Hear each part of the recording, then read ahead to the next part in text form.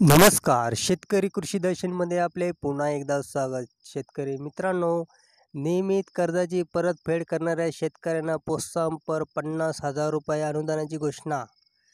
महाआघाडी सरकारने केली होती मात्र अद्याप त्याची अधिसूचनाही काढण्यात आली नाही.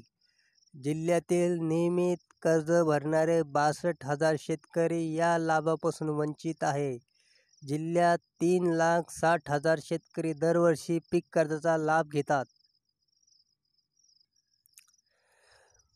राज्य शासनाने जाहीर केलेल्या कर्जमाफीत या यापैकी एक लाख नव्वद हजार शेतकरी पात्र ठरले होते. यापैकी एक लाख पन्नास हजारपेक्षा जास्त शेतकऱ्यांना कर्जमाफीचा लाभ मिळाला आहे. जिल्ह्यात सत्याऐंशी टक्के शेतकऱ्यांना कर्जमाफीचा लाभ मिळणार आहे. बावन्न हजार शेतकऱ्याचे कर्ज दोन हजार पंधरा पूर्वीपासून थकीत आहे. त्यामुळे शेतकऱ्यांना महाविकास आघाडी सरकारने जाहीर केलेल्या कर्जमाफीचा लाभ मिळणार नाही. जिल्ह्यात बासष्ट हजार शेतकरी नियमित कर्जफेड करणारे आहेत. शासनाच्या वतीने राज्यातील शेतकऱ्यांना दोन लाखा रुपयापर्यंत कर्ज माफ करताना नियमित कर्ज परतफेड करणाऱ्या शेतकऱ्यांना प्रोत्साहनपर अनुदान म्हणून पन्नास हजार रुपयाची मदत देण्याची घोषणा केली होती. परंतु अद्याप कोणत्या शेतकऱ्याच्या खात्यात मदत जमा करण्यात आलेली नाही त्यामुळे आघाडी सर शास शासनाला घोषणेचा विसर पडला की काय असा प्रश्न शेतकरी उपस्थित करत आहे?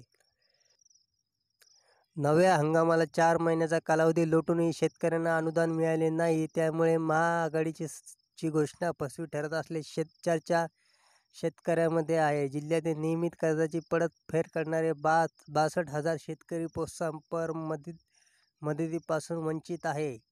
जिल्ह्यात यावर्षी कोरोनामुळे शेतकरी अडचणीत आले आहे शेतीमाल विक्री करण्यासाठी साधने उपलब्ध नसल्याने शेतकऱ्यांना गावातील व्यापाऱ्यांना कमी भावात शेतमालाची विक्री करावी लागली. त्यातच यावर्षी जिल्ह्यात जोरदार पाऊस झाला. सरासरीपेक्षा जास्त पाऊस झाल्याने मूग आणि उडीद पिकाचे नव्वद टक्के नुकसान झाले आहे. पावसामुळे शेतातच झालेला असलेला मूग व उडीदाचा शेंगाना कोंब पोंब फुटले तर काही भागात पीक फळे पडले आहेत. हजारो हेक्टरवरील कपाशी पिकाची बोंड व पाणी अतिपावसामुळे जमिनीवर पडली आहे. तसेच शेतात पाणी साचल्यानेही शेकडो हेक्टरवरील पिके पिवळी पडली आहेत.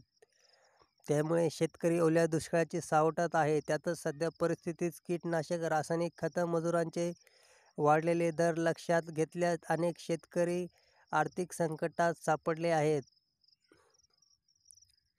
तसेच पिकावर विविध लोक रोगाचा प्रादुर्भाव झाला असल्याने शेतकऱ्यांना फवारणीसाठी पैशाची गरज आहे. मात्र शासनाकडून प्रोत्साहनपर निधी मिळाला नसल्याने शेतकऱ्यापुढे आर्थिक अडचणी निर्माण झाली आहे त्यामुळे त्वरित निधी देण्यात यावा अशी मागणी होत आहे. नियमित कर्जाची परतफेड करणाऱ्या शेतकऱ्यांना प्रोत्साहनपर पन्नास हजार रुपये अनुदान देण्याची घोषणा सरकारने केली होती. मात्र त्याबाबत अद्याप कोणताही आदेश देण्यात आलेला नाही. त्यामुळे शेतकऱ्यांना प्रोत्साहनपर अनुदान देण्यात आले नाही. उत्तम मनवर व्यवस्थापक जिल्हा अग्रणी बँक बुलढाणा शेतकरी मित्रांनो तुम्हाला हा व्हिडिओ आवडला असेल तर आपल्या यूट्यूब चॅनलला सबस्क्राईब करा. शे शेतीविषयक नवीन नवीन अपडेट्ससाठी जय हिंद जय महाराष्ट्र.